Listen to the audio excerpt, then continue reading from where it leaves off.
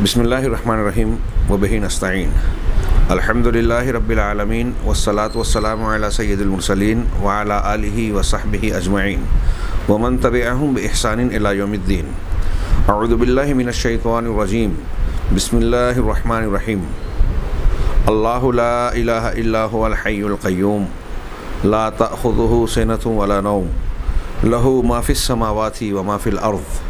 मन ज़ल्लज़ी यशफ़अु इंदहु इल्ला बिइज़्निहि यअलमु मा बैन अयदीहिम व मा खल्फ़हुम वला युहीतूना बिशैइन मिन इल्मिहि इल्ला बिमा शाअ वसिअ कुर्सिय्युहु समावाति वल अर्ज़ वला यऊदुहु हिफ्ज़ुहुमा व हुवल अलियुल अज़ीम सामीन कराम मैंने हमदो सलात के बाद पूरी आयतल कुर्सी तिलावत की, अगरचे हम उसके माना और मफहम पर गुफ्तु जब करेंगे तो एक एक टुकड़े पर कदर तफसील से और तवील गुफ्तु होगी और आयतल कुर्सी आइंदा कई दुरूस में तकमील को पहुँचेगी।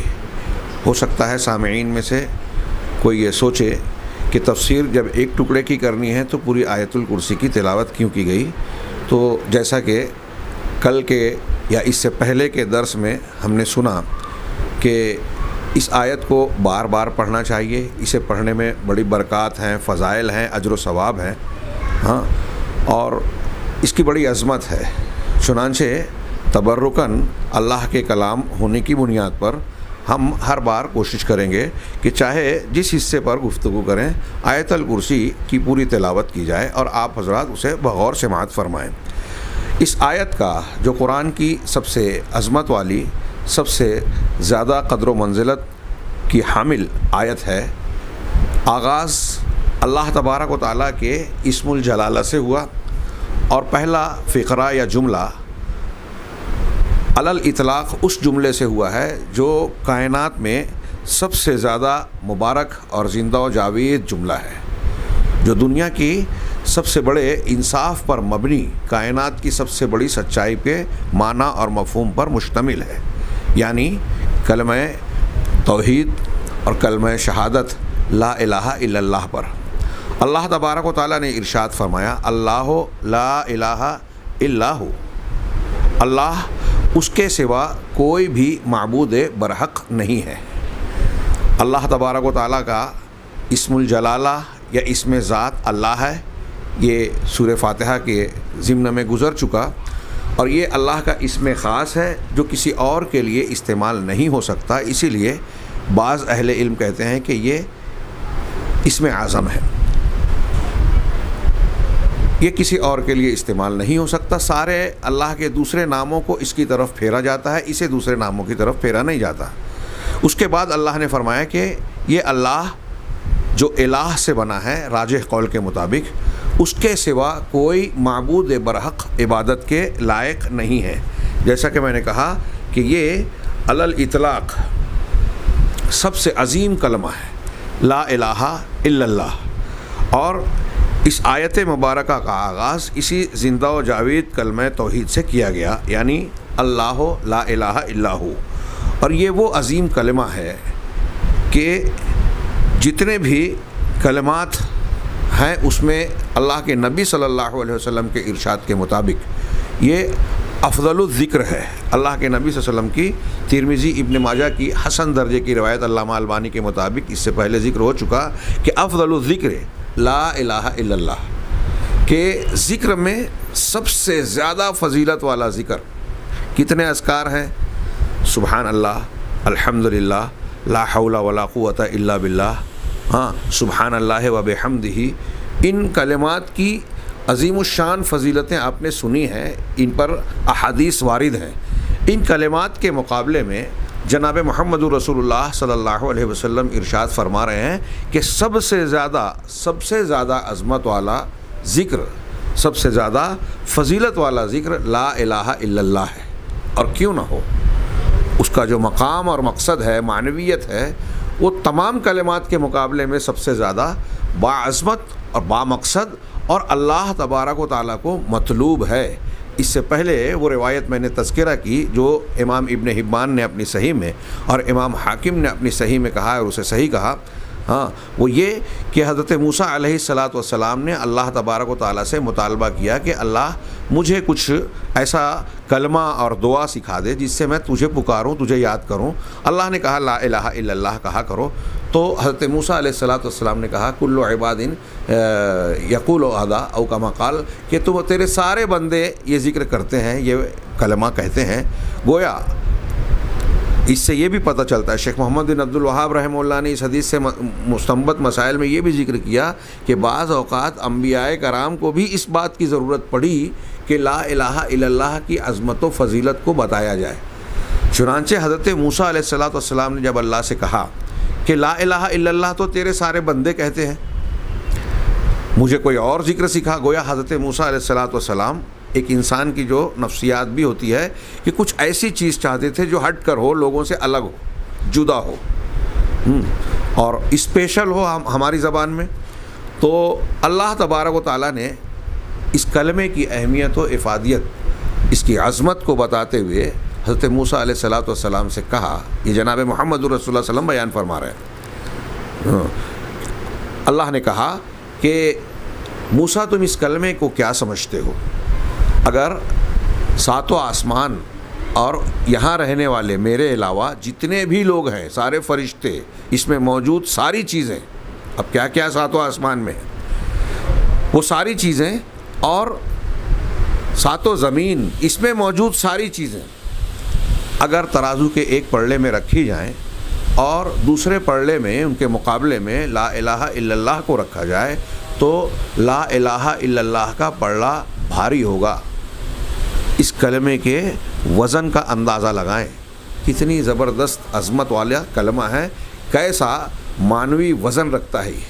इसी तरीके से वो हदीस बिताका जिसे आम तौर से सही कहा गया, और मैंने इससे पहले भी इसका ज़िक्र किया कि वो बंदा, जिसे सारे खलाइक के सामने बुलाया जाएगा, सवाल किया जाएगा, निन्यानवे रजिस्टर, जिसमें से हर रजिस्टर, हर उसका मिसल जिसको कहते हैं हाँ दफ्तर होगा, दीवान होगा, उसके अमाल का जिसमें बुराइयाँ ही बुराइयाँ होंगी, निन्यानवे मिसल और निन्यानवे दफ्तर होंगे। आजकल की ज़बान में उसे रजिस्टर बोलने तो ज़्यादा समझ में आता है दफ्तर के बजाय। तो निन्यानवे और उससे इतना तवील तवील दफ्तर ये होगा कि अल्लाह के रसूल ने फरमाया, कुल्लो सिजिल मद्दल बसर, हर दफ्तर, हर रजिस्टर हद नज़र तक होगा, इतना तवील होगा, इतना बड़ा होगा। उसमें गुनाह ही गुनाह होंगे। अल्लाह ताला की जानिब से पूछा जाएगा, इसमें से किसी का इनकार है, मेरे फरिश्तों ने जुल्म किया, वो इनकार करेगा, वो पूछेगा कोई नेकी है, वो कहेगा, नहीं, कोई नेकी नहीं है। फिर एक पर्ची निकाली जाएगी और कहा जाएगा, आज तुम पर कोई जुल्म नहीं होगा, कहा ये तुम्हारा नेक अमल है। तो वो ख़ुद ही कहेगा, माँ हादही से जिल्ला माँ हादहिल बेताका मिन हादही से जिल्लात इस बेताका छोटी सी रसीद और पर्ची का इन बड़े बड़े निन्यानवे रजिस्टरों के मुकाबले में क्या वज़न होगा, क्या हैसियत होगी? कहा जाएगा कि तुम्हें पता नहीं इसमें क्या है और आज तुम पर जुल्म नहीं होगा। वो निन्यानवे रजिस्टर एक पढ़ने में और ये पर्ची दूसरे पढ़ने में रखी जाएगी। पर्ची का वज़न ज़्यादा होगा। क्यों? उसमें ला इलाहा इल्लल्लाह की गवाही होगी। कलम शहादत होगा। ये वही कलमा है जिसके बारे में जनाब मोहम्मद सल्लल्लाहु अलैहि वसल्लम का ये इरशाद भी साबित है। आप कहते हैं खैर दुआए दुआओ यौम अरफा, कि सबसे बेहतरीन दुआ और यौम अरफा की दुआ है। गोया जो दुआ बयान करने जा रहे हैं, अरफा के दिन, हाजियों के लिए सबसे अहम और बुनियादी रुकन अरफा का, की हाज़िरी है। हाँ अलहज जो आरफा हदीसी है। हाँ और उस दिन की दुआएँ बड़ी माना बड़ी मा, बड़ी अहमियत रखती हैं। अल्लाह के यहाँ कबूलियत की का इम्कान रखती हैं। वहाँ बहुत सी दुआएँ की जाती हैं लेकिन जनाब मोहम्मद वसल्लम ने इरशाद फरमाया और रहनुमाई की उम्मत की कि आप दुआ करना चाहते हैं तो सबसे फजीलत वाली और सबसे बेहतर दुआ और वो है और आगे कहते हुए इतना कहने के बाद कि सबसे बेहतर दुआ जो है वो ये है, और सिर्फ़ सबसे बेहतर ही दुआ नहीं है, बल्कि जो कुछ मैंने कहा, यानी मेरे कलमात और दुआएँ जो मैंने सिखाई हैं, और अम्बिया ने कहा, व खैर व माकुल तो अना व नबी यून मिन कबली, कि जो कुछ मैंने कहा, और मुझसे पहले जितने नबी हैं, उन लोगों ने जो बातें कही हैं, उन बातों में सबसे बेहतर बात। एक एक जुमले पर गौर कीजिए तो इससे आगे के कलमे की अहमियत, इफादियत और अज़मत का अंदाज़ा लगाया जा सकता है। अम्बिया कराम सलाम ने जितनी बातें कही, ख़ुद नबी करीम सल्लल्लाहु अलैहि वसल्लम ने जितनी बातें कही, ये कुरान से अलग बात मानी जाएगी। आपने जितनी बात कही, कितनी अजीम शान और फजीलत वाली, अहमियत वाली, अजर सवाब वाली, मानवीयत वाली बातें आपने कही, आप ख़ुद जवाम कलिम दिए गए थे। आप कह रहे हैं कि मैंने जो बातें कही हैं दूसरे अम्बिया ने जो बातें कही हैं, उन सारी बातों के मुकाबले में सबसे ज़्यादा बेहतर और फजीलत वाली बात और कलेमात क्या हैं? हाँ एक बंदा मोमिन, सिर्फ़ इतना सुन ले तो मैं समझता हूँ कि इन कलेमात के माना और मफहम को समझ कर इसे अपने लिए हीर से जहाँ बनाएगा, दिनों रात इसका विरद करता रहेगा, पढ़ता रहेगा, जब उसे मौका मिले। अपने आप को गफलत से निकाल कर और वो कलेमात बताया गया कि ला इलाहा इल्लल्लाह वहदहु ला शरीक अल्लाह यही कलम तोहद। पहला जुमला, ला इलाहा और फिर उसके आगे की जो बातें हैं, वो इसी ला की ताक़द और फिर उसकी मज़ीद तोज़ी है। ला इल्लल्लाह तेरे सिवा अल्लाह के सिवा कोई मबूद बरहक नहीं। वहदहू, वो अकेला है। इल्लल्लाह में जो कहा गया कि सिर्फ़ अल्लाह है, उसकी ताकीद है कि वही अकेला है।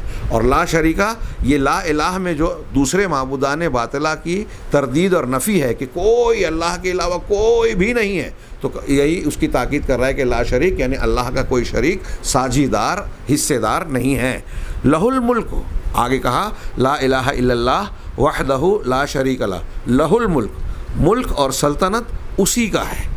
सारी कायनात का मालिक, मालिकुल मुल्क वही है। हाँ वलहुल हमद, और उसी के लिए सारी तारीफ़ात। अल्हम्दुलिल्लाह की तफसीर में हमने पढ़ा।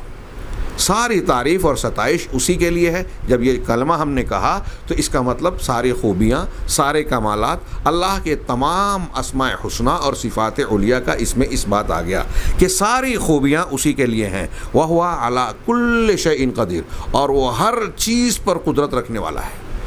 जनाब महमद रसोल्ला फरमाया कि ये अरफा की सबसे बेहतरीन दुआ है। एक और मेरी और अम्बिया की कही हुई बातों में सबसे ज़्यादा बेहतर बात है, सबसे सच्चा, सबसे बेहतरीन कलमा। इन कलमात की जो यहाँ, जिसका आगाज़ ला इलाहा इल्लल्लाह से हो रहा है, और आगे के भी जुमले दरअसल उसी की तोसीक और उसी की तोज़ी है, उसी की तफसीर के हिस्से हैं। जो ला इलाहा इल्लल्लाह के माने में सिमटे हुए थे हकीकत में। अल्लाह के नबी सल्लल्लाहु अलैहि वसल्लम ने यहाँ जो इसका, इसकी अज़मत बताई हाँ इसी की बुनियाद पर आप एक बात पर गौर करें। मैंने कल के, इससे पहले के दर्स में और कई बार ये बात बयान की कि जिन आयत, आयात इलाही में अल्लाह तबारक ताली की ज़ात, सिफ़ात, अज़मत और जलाल बयान किया गया है, वो आज़मुल आयात कहलाती हैं। दूसरी आयतों के मुकाबले में ज़्यादा अज़मत वाली। इसलिए कि उसका मजमून कायनात की, कायनात के खालिक व मालिक और सबसे ज़्यादा अशरफ, सबसे ज़्यादा अरफा, सबसे ज़्यादा आला ज़ात के मुतालिक बयान कर रहा है, बयान पर मुश्तमिल है। यही वजह है। एक दूसरा पहलू मैं आपकी तवज्जो दिलाना चाहता हूँ कि जैसे यहाँ अभी एक हदीस हमने सुनी, पढ़ी, जिसे मुस्तद अहमद और इमाम तिरमिज़ी वगैरह ने रिवायत किया है और अल्लामा अलबानी ने इसे हसन कहा है। ऐसे आप सुबह और शाम के अज़कार में मखसूस अवकात की दुआओं और अज़कार में, इबादत में आप मुख्तलिफ़ दुआओं का सरसरी जायज़ा लीजिए कि सुबह और शाम जो अल्लाह के नबी सल्लल्लाहु अलैहि वसल्लम ने, कुरान ने हमें जो अज़कार सिखाए हैं, दुआएँ सिखाई हैं, आप उसमें आम तौर से ये पाएँगे कि अल्लाह तबारक ताली की तोहद का और कलम ला इलाहा इल्लल्लाह का ज़रूर ज़िक्र और वजूद पाएँगे।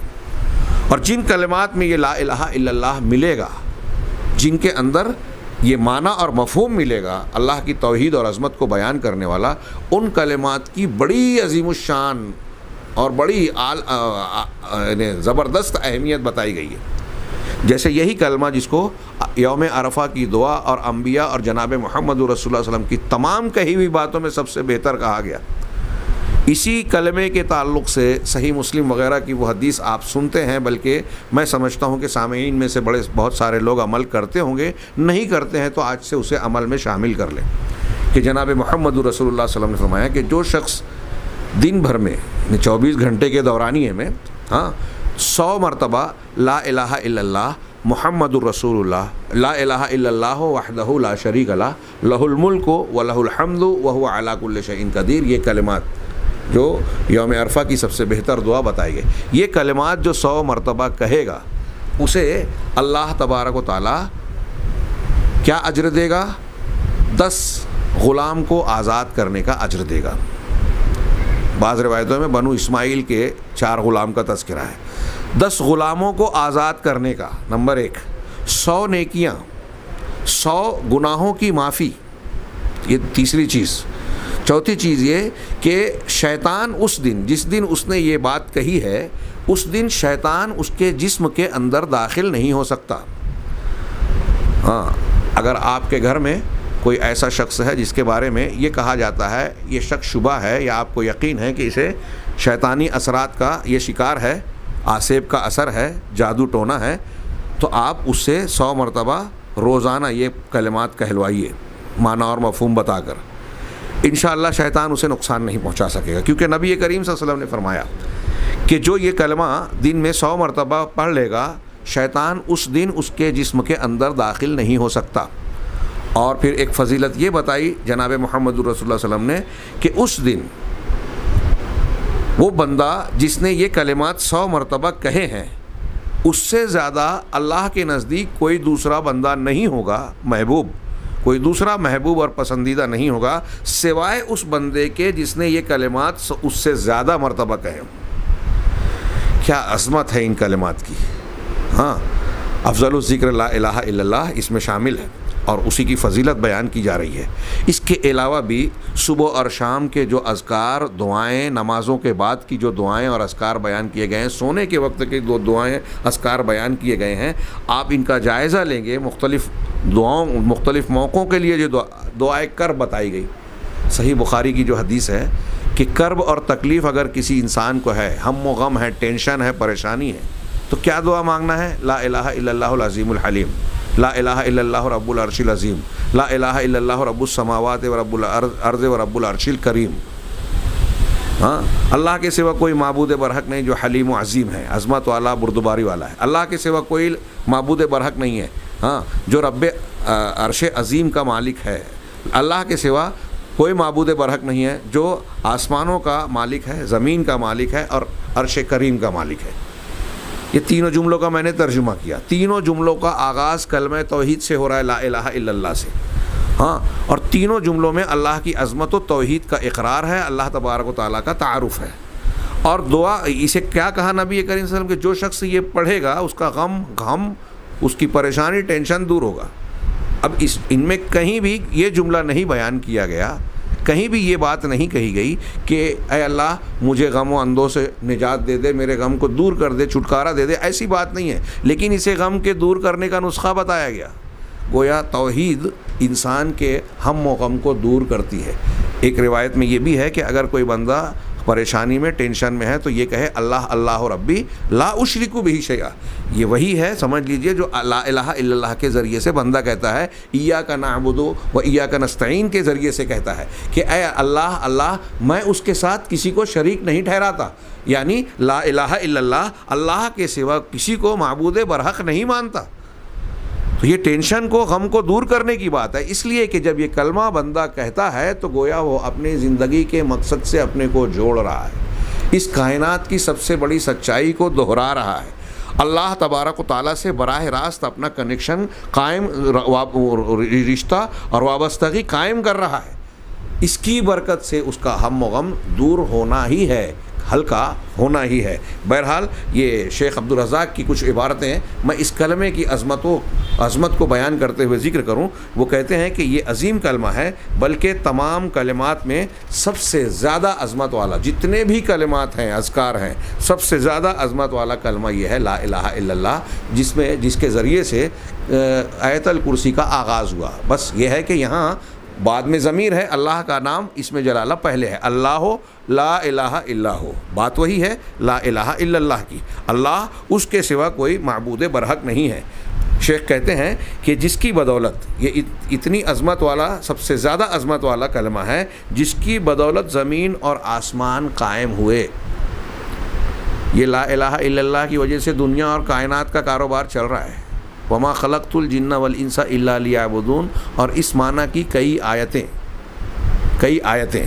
सूर तलाक की वो आखिरी वो आखिरी आयत, जिसमें अल्लाह ने कहा कि ये सातों आसमान ज़मीन और इनके आसमान को, और इनके जैसे, और ज़मीन और इनके जैसी ज़मीनों को हमने पैदा किया। क्यों पैदा किया? इसमें अल्लाह की तदबीर और अहकाम जारी हैं, ताकि लोग अल्लाह तबारक ताली को पहचाने, जाने, इल्म हासिल करें। हाँ उस आयत में कहा गया कि अल्लाह का मारिफत हासिल करें कि वो वहदहुल्ला शरीक है, सारी कायनात पर, में हर चीज़ पर कादिर है, वही इबादत के लायक है। और यहाँ कहा कि अमल में आप अकीदे और अमल के एतबार से ये बात कब इख्तियार कर लें कि उसके सिवा कोई मबूद बरक नहीं है। वमा खलकतुलजन्ना वलसा लियाबून सिर्फ़ उसी की अबूदियत बंदगी करें और ये कलमा कह लें, ला तो कहा कि तमाम ये कलमात इसी के खातिर तमाम मखलूक़ को पैदा किया गया। वमा खलकतुलजन्ना वलिनसाबुदून की तशरीहत करते रहिए। सारी मखलूक की पैदाइश दरअसल इसी तोहद और कलम तोहद ला के इस बात, इजहार और इसकी मारफत के लिए हुई। इसी के साथ अल्लाह ने रसूलों को भेजा। अब आयतें पढ़ते जाइए। अल्लाह ने रसूलों को भेजा, जैसे कुरान मजीद का ये इरशाद, वमा अरसलना मिन कबल का मिन रसूल हमने आपसे पहले किसी भी रसूल को नहीं भेजा। इल्ला नूही इलह, मगर ये कि हम उनकी तरफ़ वही करते। क्या वही करते? क्या हुक्म देकर भेजते? अन्नहो ला इलाहा इल्ला अना फ़ाबुदून, कि अल्लाह के देखो, मैं कोई मबूद बरहक नहीं है सिवाय मेरे, फ़ाबुदून तो तुम मेरी ही इबादत करो। ये मशहूर सूर अम्बिया की आयत नंबर 25 इस आयत में कई बातें बिल्कुल साफ़ साफ़ एक तो ये कि मुख्तलिफ़ कौमों और उम्मतों की तरफ़ ये अल्लाह की सुन्नत और तरीक़ा रहा है। उसकी रहमत और रबूबियत का एक इंतज़ाम रहा है कि बंदों की रहनुमाई के लिए अम्बिया और रसूल भेजे। उनको यूँ ही अजाब नहीं दिया। पहले हजत पूरी की। सब पर दलील और हजत के ज़रिए से उज़्र को ख़त्म कर दिया कि आपको बहाना ना रहे। अक्ल शूर दिया, दलाइल को बिखेरा, उसके बाद पैगम्बरों को भेजा। इंतहाई वाज दलाइल मोजात के साथ। इन तमाम पैगम्बरों की, हज़रत आदम सलाम से लेकर जनाब महमद रसूलुल्लाह वसल्लम तक, जितने भी रसूल और पैगंबर आए, सब की तरफ़ वही क्या की गई? ला इलाहा इल्ला अना फ़ाबुदू क्या? कि कोई भी, अल्लाह के सिवा, यहाँ अना, अल्लाह का कलाम है, मेरे सिवा कोई भी इबादत के लायक है ही नहीं। लिहाजा सिर्फ़ मेरी इबादत करो, किसी और की नहीं। सारे अम्बिया की दावत यही है, वलक़द बासना फ़ीकुल्ल उम्मत रसूल सूर नहल की यह मशहूर आयत, कि हमने हर उम्मत में रसूल भेजा। इससे ये पता चला कि दुनिया की कोई कौम ऐसी नहीं है जहाँ कोई रसूल ना आया हो। हाँ अब सबके, जिनके बारे में कुरान हदीस ने बताया, हम उन पर नाम के साथ ईमान लाते हैं, जिनके बारे में नहीं बताया, बगैर नाम के ईमान लाते हैं। जिनके बारे में कुरान हदीस नहीं है, हम अपने दिमाग से या बेला, फ़लाँ और फ़लाँ की तहकीक से ये नहीं कहते कि वो भी नबी थे, जरतिश्त भी नबी थे, राम भी और ये भी और फ़लाँ भी और फ़लाँ भी। जिनके बारे में कुरान और हदीस में नहीं है, हम नहीं मानते। हाँ उनको अच्छा आदमी माने। यहाँ जिनके बारे में आजकल कुछ लोग साबित करने की कोशिश करते हैं कि राम जो है वो नबी रहे होंगे। ख़ुद हिंदू महक्कीन कहते हैं कि राम का हकीकी ज़िंदगी में तारीख़ी कोई वजूद था ही नहीं। ये एक काल्पनिक और तस्वुराती किरदार है। अच्छाई का नुमाइंदा बनाकर इसको पेश किया गया। बहरहाल जिनका ज़िक्र कुरान हदीस में है, हम उसको मानते हैं। तो जितने भी, एक तो ये पता चला इस आयत से कि हर उम्मत के लिए नबी आया, पैगंबर भेजा गया। वलकत बासना फ़ी कुल्ल उम्मतिन रसूला। अब रसूल भेजा तो इसका मतलब कि नुमाइंदा है। रसूल का मतलब ही होता है पैगंबर, पैगाम पहुँचाने वाला नुमाइंदा। तो उस पैगाम पहुँचाने वाले का पैगाम होता क्या था? तालीम क्या थी? तो उसकी तालीम की बुनियाद, निचोड़, उनवान, खसूसियत क्या बताई अल्लाह तबारक ताली ने? अनबुल्ला वज तन तागुत। कि तुम अल्लाह की इबादत करो और तागुत की इबादत से बचो। गई ला दो बातें कही कि सिर्फ़ अल्लाह की इबादत करो, लेकिन इतनी बात काफ़ी नहीं है। अगर एक आदमी अल्लाह की इबादत कर रहा है और अल्लाह की इबादत करते करते किसी दूसरे की इबादत भी कर रहा है तो वो अल्लाह की इबादत करने वाला नहीं है। देखिए गुफ़ार मक्का। अल्लाह की इबादत करते थे, तवाफ़ करते थे तो अल्लाह को भी लब्बैक अल्लाह लब्बैक कहते थे। लेकिन आगे कहा, ला शरीक अल्लाह का इल्ला शरीक उन हाँ तेरा कोई शरीक नहीं हाँ सिवाय उस शरीक के जिसको तूने बनाया और जिसका तू ही मालिक है। बताइए कि अल्लाह की इबादत भी कर रहे हैं, साथ में दूसरे को शरीक भी कर रहे हैं। एक तरफ़ कह रहे हैं शरीक नहीं, दूसरे को शरीक बनाते हैं कि तूने खुद बनाया है।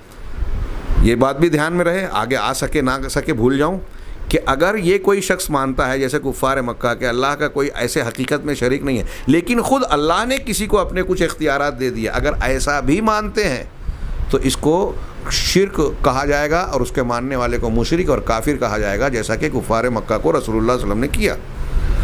तो वो अल्लाह को कश्ती में सवार होते थे तो खलूस के साथ दीन को खालिश करके अल्लाह को पुकारते थे। दुआएँ अल्लाह से करते थे, कई इबादत अल्लाह के लिए करते थे, लेकिन शिरक भी करते थे। इसलिए कुरान ने क्या कहा? कुल या अयहल काफिरून, आप लोगों से कहिए कि अय काफिर हो। ला आबुदु माताबुदन मैं उसकी इबादत नहीं कर सकता, नहीं करना, करने वाला, नहीं करूँगा, जिनकी इबादत तुम करते हो। वाला अंतुम आबिदु नमा आबुद और जिसकी मैं इबादत करता हूँ, अल्लाह के नबी वसल्लम से कहलवाया जा रहा है, ऐलान करवाया जा रहा है कि जिसकी मैं इबादत कर रहा हूँ, करता हूँ, यानी अल्लाह की। तुम उसकी इबादत नहीं करते। कुफ़ार मक्का ने इसके जवाब में ये क्यों नहीं कहा कि अल्लाह के रसूल, ये अल्लाह ने ये क्यों कह दिया कि हम अल्लाह की इबादत नहीं करते, हम अल्लाह की इबादत तो करते हैं। मतलब क्या हुआ? अच्छी तरह समझें। हमारे बहुत सारे कलमा गो अफराद आज इस माना को समझने के लिए तैयार नहीं है। एक तरफ़ अल्लाह के सामने भी जबीन न्याज झुकाते हैं और दूसरी तरफ़ मुख्तलिफ़ गैरुल्लाह की चौखटों पर भी अपने माथे को टेक कर अपनी तोहद को मजरूह, दागदार और तोड़ फोड़ देते हैं। और उनको इसका एहसास भी नहीं कि उनका ईमान की मता लुट गई, टूट गई, फूट गई। अल्लाह के यहाँ ऐसे ईमान और ऐसी तोहद का कोई माना नहीं। और इसके लिए इन माना और मफहम को समझना बहुत ज़रूरी है। तो कुफ़ार मक्का ने यह नहीं कहा, यहाँ मकसूद यही था बताने का कि जो अल्लाह की इबादत करता हो, लेकिन अल्लाह के साथ किसी को शरीक ठहरा लिया तो वो अल्लाह की इबादत करने वाला नहीं कहलाया। अल्लाह की इबादत करने वाला वो होगा जो सिर्फ़ अल्लाह की इबादत करे, यानी तोहद का। इसीलिए अहले इल्म ने लिया अबदून की तशरी करते हुए कहा ली वाहिदून कि हमने जीनो इंस को क्यों पैदा किया कि मेरी सिर्फ़ इबादत मेरी इबादत, क्यों? सिर्फ़ मेरी इबादत। तोहहीद को इख्तियार करें। यानी ला इलाहा के इस कलमे को अपने दिलो जान में पूरे तकाज़ों और शराइ के साथ इख्तियार करें। तार अम्बिया कराम सलाम की यही दावत थी। वलक़त बासना फ़िकुल उम्मत रसूल अन अब्दुल्ला वजतन ताबूत शेख अब्दुल्ला बिन अब्दुल अब्दुल अज़ीज़ इबन बाज़ रहमहुल्लाह मुफ्ती सऊदी अरब थे जो नाबीना, उनका एक रिसाला मैंने देखा था। कलम तोहद से मुतल हाँ कलम तोहद, और उसके बारे में कहा कि जो तमाम अम्बिया कराम सलाम की दावत थी, इस पर उन्होंने किताबचा लिखा, और आखिर में शिरक के, रद्द के सिलसिले में भी शिरक से बरात पर भी कुछ हिस्सा मुलहक के तौर पर शामिल किया है। मैंने वो जो रिसाला पढ़ा मेरा दिल चाहता था कि इस दर्स को बयान करते हुए मैं उसके मुश्तमिलात को ज़िक्र करूँ, लेकिन उसमें जो उन्होंने तस्करा किया, ला इलाहा की अज़मत, उसके माना और मफहम को ज़िक्र करते हुए, जहाँ ये ज़िक्र किया कि अम्बिया कराम की दावत का आगाज़, बुनियाद सब की दावत का उनवान यही था, उन्होंने कुरान में मजकूर अम्बिया कराम सलाम की दावतों का गोया कुछ तफसील पेश की। और बताया कि नूह सलाम की कौम से शिरक शुरू हुआ। तो किस तरह नूह सलाम ने अपनी कौम के सामने तोहद रखी, शिरक का रद्द किया?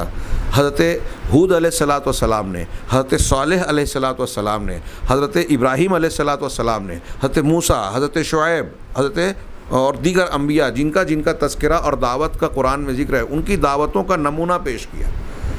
कि उन्होंने किस तरह तोहद की तरफ़ दावत दी। उसमें बड़ी प्यारी बहस है और बहुत ही मुफीद है। तोहद की अम्बिया कराम ने जो दलीलें दी, हज़रत इब्राहिम पेश कर रहे हैं अपने बाप को, किसकी इबादत कर रहे हो? जो ना सुनता है, ना देखता है, ना फ़ायदा पहुँचाता है।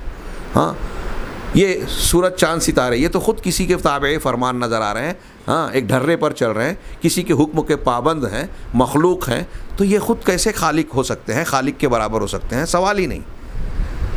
अम्बिया की हज़रत मूसा की हज़रत नूह की, जो दावतें हैं हाँ जो उनकी दलीलें हैं तोहद की, वो बयान की शेख इबन बाज़ रहमल्ला ने, और बड़े खूबसूरत अंदाज में उसका ख़ुलासा पेश किया कि देखिए, हर नबी ने अपने अपने ज़माने में पूरी दावत का आगाज़ और पूरा ज़ोर तोहद पर सर्व किया। ला इलाहा को कबूल करवाने पर सर्व किया। किसी ने माना कौम ने, किसी ने नहीं माना, जिन्होंने नहीं माना, वो अजाब का शिकार हुए। हाँ और मैं उनके दलाइल का फ़िलहाल तस्करा नहीं कर सकता। वाक़ात उन्होंने जो बयान किए, हर साहिब शौक़ और ओक़ को, साहिब ईमान को, अगर वो किताब चाह मिले तो उसकी उसको ज़रूर मुताला करना चाहिए।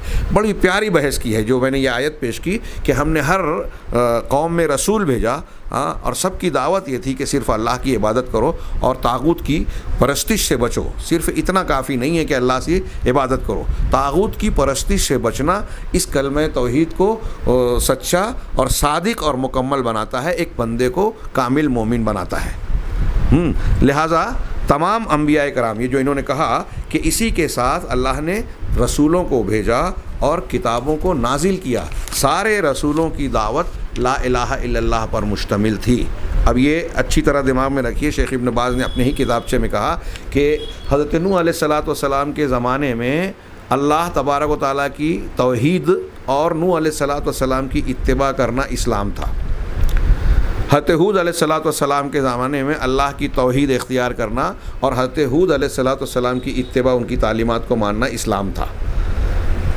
हर नबी के लिए फिर उन्होंने ऐसा ही बयान किया हज़रत इब्राहीम सलाम जब आए तो जो कुछ उन्होंने तोहद पेश की, उस तोहद को मानकर अल्लाह के हकूक़ को देना और हज़रत इब्राहीम की तालीमत को मानना इस्लाम था।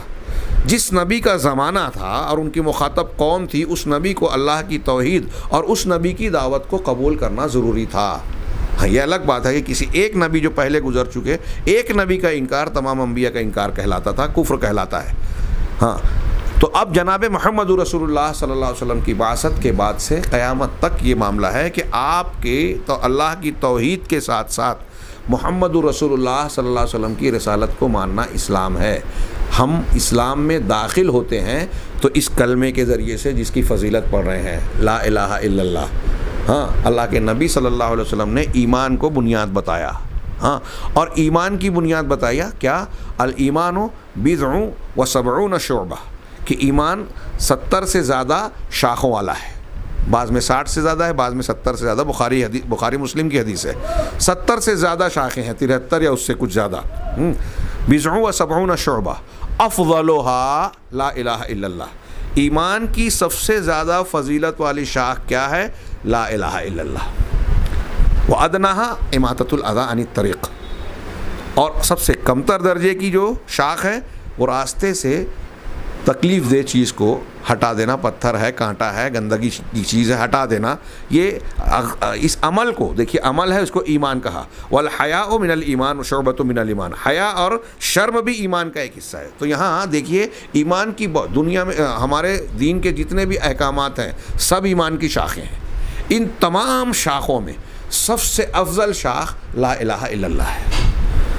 तो नबी करीम वसल्लम ने फरमाया कि ईमान की सबसे बड़ी बुनियाद यही है और सारे रसूलों के की, दा, की दावत का आगाज़ ला इलाहा से होता है।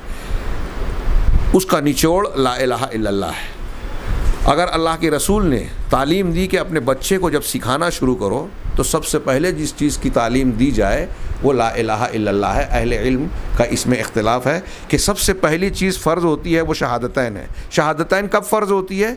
जैसे ही शूर आ जाए या आदमी बच्चा बोलने लगे, उसको हम वो पढ़ाने लगे। सिन तमीज़ आ जाए, बुलूगत से पहले जब तमीज़ आ जाए तो ला इलाहा मोहम्मद रसूलुल्लाह सिखा देना चाहिए। हाँ उसके बाद जब बालिग होगा तो फिर से कलमा पढ़ाकर इस्लाम में दाखिल नहीं किया जाएगा, जैसा कि आज कुछ लोग करते हैं। पहले का जो कलमा है, उसी का एतबार किया जाएगा। तो पहला फरीज़ा जो बंदे पर सबसे बुनियादी फरीज़ा है, वो शहादतैन का इस बात है। इसी के ज़रिए से अशद व अशद महमदन महमद रसूल या महमदन अब्दू व रसूल। इसका एतराफ़, इकरार करते हुए, इसकी शहादत देते हुए बंदा इस्लाम में दाखिल होता है। इसके बगैर कोई आदमी मुसलमान हो ही नहीं सकता। और जिस रसूल के दौर में है, उस रसूल के दौर में अशद अल्लाह के बाद उस रसूल की रसालत और अब्दियत का एतराफ़ करना होगा। तभी आदमी मुसलमान होगा। तो अल्लाह तबारक आगे कह रहे हैं कि सारे रसूलों की दावत यही थी, इब्तदा। अगर किसी रसूल की उम्मत ने ला इलाहा के सबक को नहीं माना, कबूल नहीं किया तो रसूल की दावत आगे नहीं बढ़ी, सबक आगे नहीं बढ़ा। इससे ये भी पता चला कि ईमान और इस्लाम की बुनियाद इसी कलमे पर खड़ी होती है। रसूलों की दावत का मरकज़ जब यही है, बुनियाद यही है तो हमें ये भी सबक मिलता है। सारे मुसलमानों को मैं कह रहा हूँ, आज हमारे सामने बहुत सारे मुसलमान हैं। मुख्तलिफ़ ग्रोह हैं। कोई फ़ज़ाइल की दावत पर ज़ोर दे रहा है, कोई सियासी इस्लाम और हुकूमत इकतदार को कायम करने पर ज़ोर देता है कि इसके ज़रिए से इकामत दीन का फरीज़ा अंजाम होगा। कोई जो है वो अपने ख़ास अमल को इख्तियार करके दीन को उस पर ज़ोर देता है कि ज़िक्र असकार को इख्तियार किया जाए, दरवेशी और रहबानियत ईसाइत वाला तरीक़ा, हिंदू धर्म के जोग वाला। कोई किसी चीज़ पर ज़ोर देता है, कोई किसी चीज़ पर लड़ता है। कहीं अहल बैत की मोहब्बत पर इख्तसार है और सारा दीन उसी के गिरद गर्दिश कर रहा है हाँ और उसके अलावा कोई चीज़ नज़र नहीं आती। और कहीं कोई और चीज़ है हाँ लेकिन अम्बिया कराम सलाम की दावत अज़ अव्वल ता अव्वल। तमाम अम्बिया की दावत, तमाम किताबों की बुनियादी तालीम क्या है? ला इल्लल्लाह। इसलिए मैं ये कहता हूँ कि यहाँ भी हक ग्रोह की, निजात पाने वाले ग्रोह की या उस ग्रोह की अगर एक बंदा छोटे दिमाग वाला, मोटी अकल वाला, कम कम इल्म वाला भी अगर सोचना चाहता है कि अहले हक कौन है तो देखे कि कौन सा ग्रोह जो है कौन सी जमात जो है, वो नबी करीम सल्लल्लाहु अलैहि वसल्लम और अम्बिया की दावत के तरीक़े पर गामजन है। कौन है जो अपने बुज़ुर्गों, पीरों, इमामों, फ़लाँ और फ़लाँ की अज़मत का सबक और पाठ पढ़ाए बगैर दिमाग में उसको घुसाए बगैर अल्लाह की अज़मतों का दर्स देती है, जैसे अम्बिया देते थे। हम अहले तसवुफ़ के यहाँ जाए, सूफिया के यहाँ तो फ़लाँ बुज़ुर्ग ऐसे। हमारे फ़लाँ सिलसिले के लोग ये हैं। हाँ तकलीदी ग्रोह में जाएँ तो वो अपने अइम्मा और मशाइ और अकाबरीन के गुण गाते, सुबह शाम उनके कसीदे पढ़ते, जहन व दिमाग में उनकी अजमत का सिक्का बिठाते हुए नज़र आएँगे। आम आदमी अल्लाह से ज़्यादा अपने बुज़ुर्गों के बारे में जानता है कि अरे वो फ़लाँ ऐसे हैं, उनकी ये अजमत है, वो ऐसे इल्म वाले हैं, उनकी ये करामत है, उन्होंने दुआ की तो फ़लाँ चीज़ का नतीजा बरामद हो गया, वो हवा में उड़ने लगे, वो फ़लाँ वज़ू से फ़लाँ नमाज़ पढ़ते थे, उनकी ये हैसियत, उनकी वो हैसियत। यहाँ ऐसा है कि नबी करीम वसल्लम के सामने जब कोई कहता तो आप कहते थे कि मुझे मेरे मकाम से आगे ना बढ़ाओ। सैयद अल्लाह है, मुझे सैयद मत कहो। हालाँकि आपके आपको सैयद कहा जाए तो माना अलग हो सकता था, ये दूसरी हदीसों में साबित है। तो यहाँ नबी और अम्बिया कराम अल्लाह की अजमत और तोहहीद पढ़ाते थे लोगों को। उसको, उसका जहन दिमाग में सिक्का बिठाते थे। उसके ज़रिए से तरबियत करते थे। और तालीम दी कि बच्चे को पहली तालीम देना है तो ला इलाहा की दो। और कहा कि जिसका आखिरी कलाम ला इलाहा होगा, वो जन्नत में जाएगा। यानी हमारे आगाज़ भी ला इलाहा से हो और अंजाम भी ला इलाहा से हो, नबियों की दावत शुरू भी ला इलाहा से होती थी, आखिर भी ला इलाहा पर होती थी। कभी किसी नबी ने तोहहीद की मुखालफत बर्दाश्त नहीं की। कभी किसी नबी ने शिर के असगर तो छोड़िए जो तोहहीद की ज़िद है शिर के अकबर शिर के असगर को भी कभी बर्दाश्त नहीं किया। हमारे यहाँ सब चीज़ चल रही है और आप कहते हैं, फजीलत बताओ, आप कहते हैं, इख्तलाफ में ना पढ़ो शिरक का रद्द करना इख्तलाफ में पढ़ना नहीं है। बल्कि अल्लाह के हुक्म की तामील करना है कि दुनिया का सबसे बड़ा बातिल, सबसे बड़ा झूठ, सबसे बड़ा जुल्म शिरक है। और सारे अम्बिया की दावत उसी का कला कमा करने और उसकी रद्द कर रहे थी और यही ला इलाहा कहता है। अगर कोई शख्स शिरक की तरदीद पर नफ़रत का इजहार करता है, अपनी पेशानी पर बल लाता है, और ख़ास तौर से हम देखते हैं कि दुनिया में सलफ़ियों और अहदीसों पर कुछ लोग इस बात पर अटैक करते हैं कि वो ये शिरक और वो शिरक कहते फिरते हैं। ये अम्बिया का तरीक़ा है, ये अल्लाह का हुक्म है। अगर आपने शिरक को शिरक नहीं कहा तो आप अपने ला इलाहा की हिफाजत नहीं कर रहे हैं। अपनी दीन की सबसे कीमती मता की क्या झगड़ा था अल्लाह के नबी वसल्लम का मक्का वालों से? यही तो था। आपने जो दावत दी, कुल तुफले वहीं से तो दुश्मनी बनी, वरना अल्लाह के रसूल को सबसे अच्छा सादिक अमीन कहते थे, अमानतें रखते थे। आपकी शख्सियत पर कोई एतराज़ नहीं था। लेकिन जैसे ही आपकी दावत तोहहीद आई तो आपकी दावत तोहहीद से एतराज़ और इख्तलाफ था। क्या, क्यों? कौम हूद ने भी यही कहा, ला इलाहा इल्लल्लाह के मतलब पर अभी हम गौर करेंगे तो उधर जाएँगे कि मुशरकिन अज इब्तदा ता इंतहा कुफ़ार मक्का भी कह रहे हैं कि ला इलाहा इल्लल्लाह अगर हमने मान लिया तो हम अपने बाप दादा के इख्तियार किए हुए मबूदों को तर्क करने पर मजबूर हैं। इसके मानने का मतलब ये कि सारे अपने बाप दादा के दीन का रद्द कर दिया, सारे मबूदों को नहीं मानने की बात कह दी। हाँ? तो ला इलाहा इल्लल्लाह का ये मतलब वो समझते थे, वो मानते थे, अभी अभी हम उस पर गुफ्तु आगे करेंगे। इसी पर एतराज़ था। इसी की बुनियाद पर नबी पैगंबर इस्लाम से झगड़ा था, बल्कि तमाम पैगंबरों का अपनी उम्मतों से जो झगड़ा था, वो ला इलाहा इल्लल्लाह का था। अब आज के ज़माने में अगर किसी शख्स को शिरक और तोहहीद की बुनियाद पर किसी से झगड़ा है तो यूँ समझ लीजिए कि वो अम्बिया की सुन्नत पर अमल कर रहा है और जो लोग शिरक का दिफा कर रहे हैं या तोहहीद तोहहीद की दावत के लिए रोक लगा रहे हैं, अहले तोहहीद से झगड़ रहे हैं उनके अकीदे मौक़ की वजह से तो वो किन की सुन्नत पर चल रहे हैं, गौर कर लें। पूरा कुरान उठा कर देख लीजिए। मैं जो यहाँ बातें कह रहा हूँ खाली खुली या हवाई, बेदावा, बेबुनियाद बातें नहीं है। बिल्कुल सच्ची वाज और नंगी हकीकत, नंगी सच्चाई शेख कहते हैं आगे, तमाम अम्बिया की दावत, तमाम किताबों की दावत, यही तोहद, यही ला इला जिससे आयतल कुर्सी का आगाज़ हो रहा है। इसी के लिए मीज़ान व पैमाने मुकर किए गए। मीज़ान व पैमाने इसी के लिए मतलब क़यामत के दिन जो मीज़ान अमल होगा उसमें इंसानों का भी वज़न होगा, बुखारी की रिवायत के मुताबिक, और आमाल का भी वज़न होगा। इन आमाल में कबूलियत और अदम कबूलियत की बुनियाद क्या होगी? ला इलाहा इल्लल्लाह का मानना और ना मानना। जिसने माना है, उसके लिए मीज़ान में वज़न होगा, उसके आमाल का वज़न होगा मतलब उसकी हैसियत होगी, नेकियाँ काबिल कबूल होंगी। जिसने नहीं माना होगा वो कितनी भी तहजदें पढ़ ले, कितने भी असकार कर ले, कितने भी रोज़े रख ले, कितनी मरतबा भी कुरान की तिलावत को अज इब्तदा ता इंतहा करके ख़त्म कर ले कितना भी एहतिकाफ़ कर ले हाँ वो अगर तोहहीद पर नहीं है तो उसका एक अमल भी कबूल नहीं होगा। आगे आप उसको बयान पढ़ेंगे। इन अशरक तलाबतन अमल अगर आप भी नबी शिर करेंगे तो आपके अमल बर्बाद हो जाएँगे।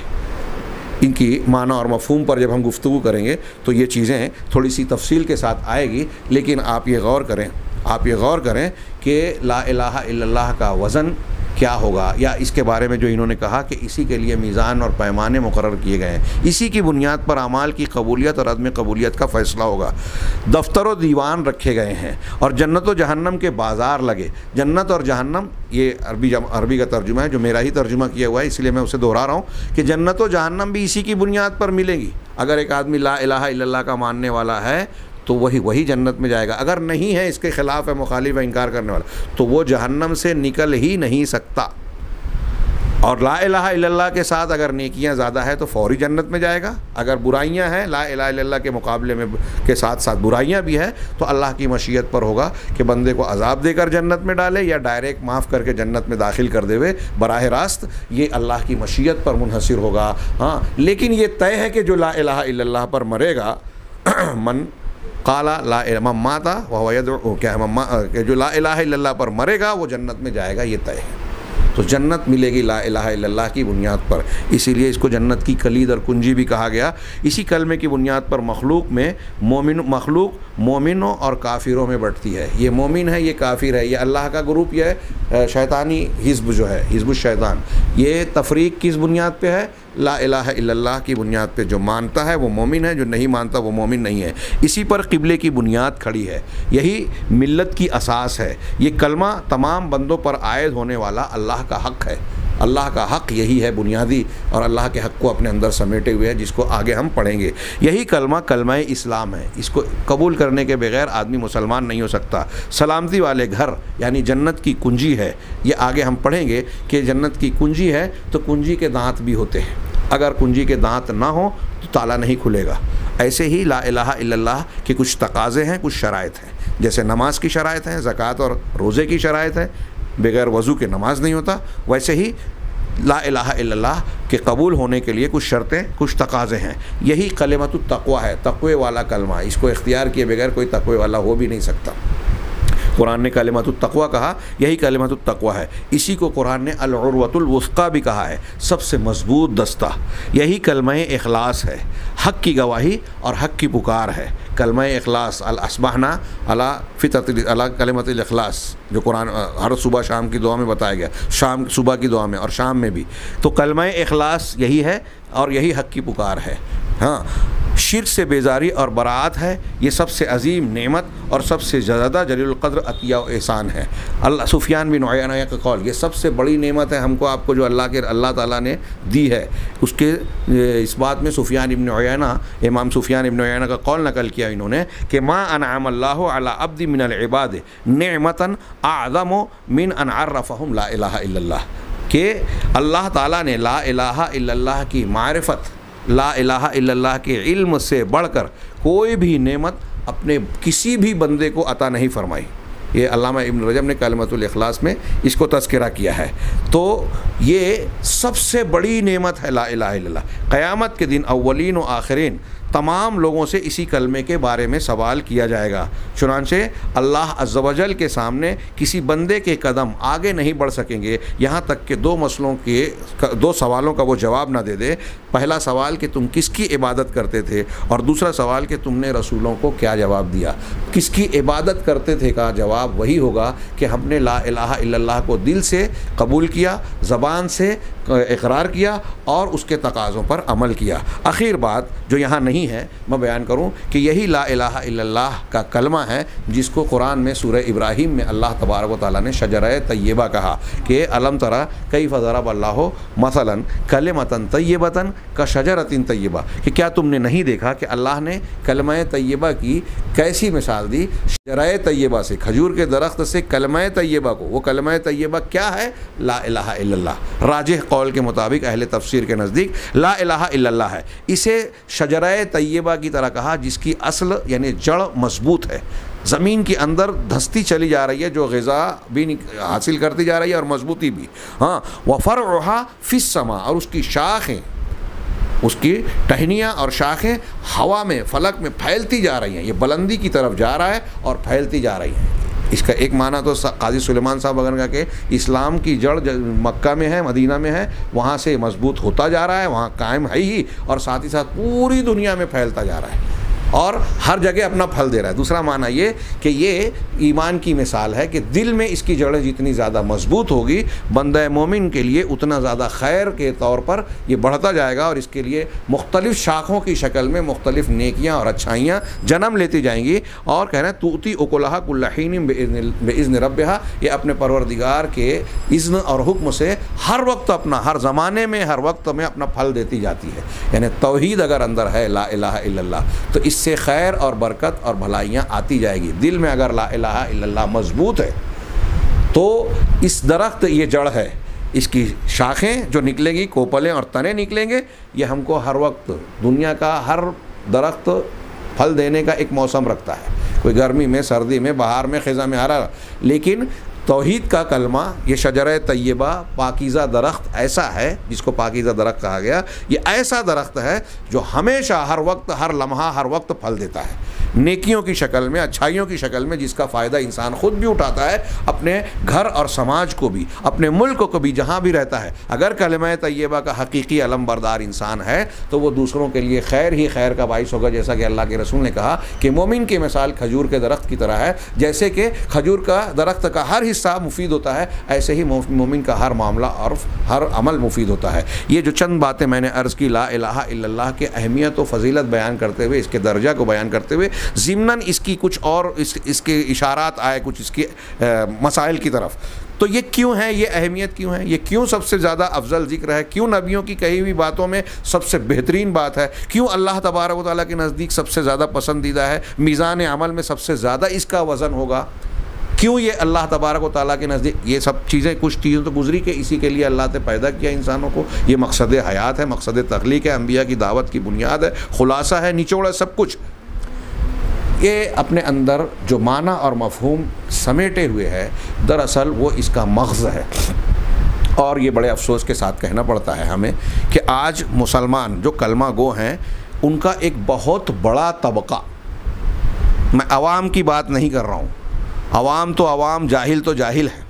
बहुत सारे मुद्दियान इल्म दानिश बड़ी बड़ी किताबें लिखने वाले मैं ऐसा समझता हूँ कि ला इलाहा के तकाज़ों शरात और माना और मफहूम से पूरी तरह से आशना नहीं है। यही वजह है कि वो एक तरफ़ कलमा भी पढ़ते हैं, दूसरी तरफ़ कलमे के तकाज़ों और शराइत की मुखालफत भी करते हैं। इससे आप अंदाज़ा लगा सकते हैं कि इसकी इतनी अहमियत, फ़जीलत अल्लाह तबारक ताली के यहाँ इतना ज़बरदस्त मतलूब होने के बाद अगर हमने इसके माना और मफहूम को नहीं समझा तो ये कोई फ़ायदेमंद हमारे लिए नहीं होगा। और जैसा कि मैंने बताया कि इस चाबी की कुछ दंदाने होते हैं, इसके शराइ होते हैं। लिहाजा आइंदा दुरुस्त में हम इसके माना और मफहूम पर, इसकी अहमियत व इफ़ादियत के साथ साथ इसकी मानवीत पर, इसके तकाज़ों पर भी गुफ्तु करेंगे। और मैं इसके ला की शराइ को भी खसूसी तौर से ज़िक्र करना चाहूँगा, जिसके बारे में मेरी अपनी मालूम ऐसी है कि बहुत सारे मुसलमान ला समझते हैं कि हमने ज़बान से बोल दिया, काफ़ी है। नुत्क काफ़ी है। या ज़्यादा से ज़्यादा वो अपने तौर से कहते हैं कि हमने दिल से भी मान लिया। लेकिन माना मफहम क्या है? उसके, उसकी दूसरी शराइ क्या हैं? इससे बहुत सारे मुसलमान नावाकिफ़ हैं। हमें और आपको ये याद करना है। क्योंकि ला इलाहा इल्लल्लाह के माने बग़ैर जब बेड़ा पार ही नहीं हो सकता, आप जन्नत में आप और हम दाखिल ही नहीं हो सकते, जहन्नम से बच ही नहीं सकते, मुसलमान ही नहीं हो सकते। तो फिर ज़ाहिर सी बात है कि इसका सीखना हर मुसलमान मर्द औरत छोटे बड़े पर जो शूर रखता है, उसके लिए लाजिम है, ज़रूरी है, फ़र्ज़ है। हम ये उज़्र नहीं कर सकते कि हमें नहीं मालूम। मैंने इससे पहले ज़िक्र किया, ये अकीदे की बात है और कलमे की बात है। इसमें अहले तकलीद के यहाँ भी ये बात मानी और कबूल की जाती है कि इस मामले में तकलीद नहीं चलेगी, जहालत का उज़्र नहीं चलेगा। लिहाजा मुक़लदीन के यहाँ भी ये तस्लीम है कि इंसान को अकीदे की बात कुरान, हदीस की दलीलों से समझना है। लिहाजा आइंदा दुरुस्त में हम इसे शरात के साथ समझने की कोशिश करेंगे। अल्लाह तबारक ताली हमें इसकी तोफ़ी अता फ़रमाएँ और कबूल फ़रमाएँ। व आखिर दावाना अनिलहमदिल्ला रबालमीन